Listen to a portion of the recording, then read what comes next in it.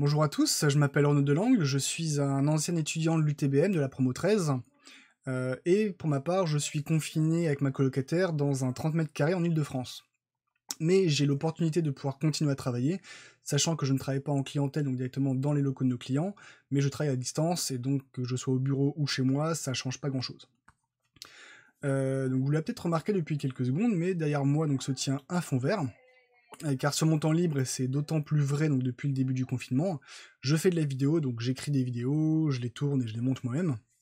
Et je fais également depuis quelques mois des, euh, lives sur la plateforme Twitch.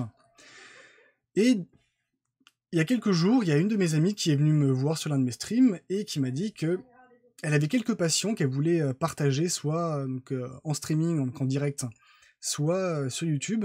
Mais comme c'était pas du gaming ou de la high-tech, elle avait, elle osait pas vraiment euh, le faire. Donc ces passions-là, c'était le, dessin et une passion pour, le, pour les mangas. Et donc là-dessus, le conseil que je vais donner, c'est bah, celui que je vous donne actuellement, c'est partager. N'hésitez pas.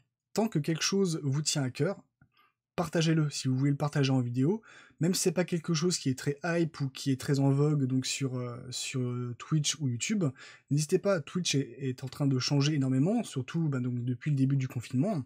On y voit beaucoup de choses, on y voit même de l'actu.